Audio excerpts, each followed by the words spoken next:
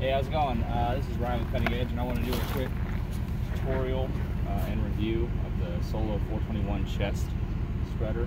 Uh, we picked this up at a local seed and salt supply store. They only had one, and they said they only sell about one or two of them a year. So I thought that was interesting. Almost made me not want to buy it. I went ahead and bought it anyways.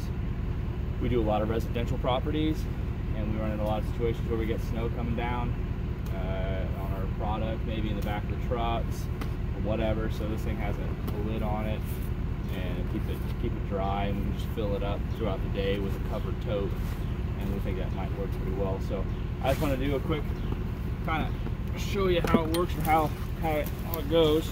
Um, cap here, screw cap, screws off right here. Put product in, decent size opening decent size opening. It's not too bad. Um, maybe use a cup from the gas station. I don't know. The bigger scoops work too, but uh, handle crank right here. It's got a shoulder strap. I'll show you how that goes.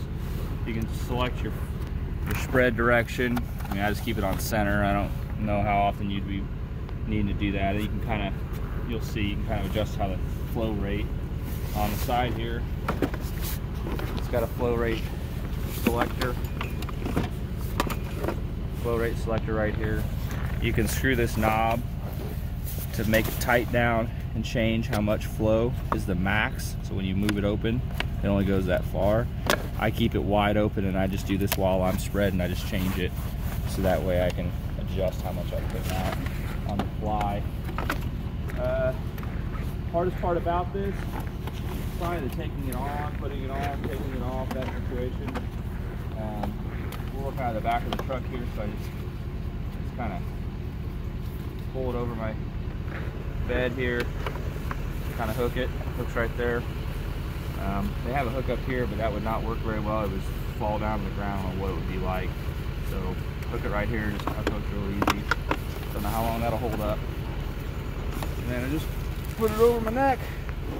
There it is, 20 pounds of salt. Again, selector here, so I'll just open it up, start turning like a little drummer boy or something, I don't know. Just kind of walk slow. And go slower, faster, depending on what you need. When I get by sidewalks, I don't want a lot to come out. I can just change this here. I can change the flow right here. I don't want a lot to come out and aim it. So it works, works pretty well, I think. Um, I got it open all the way, don't I?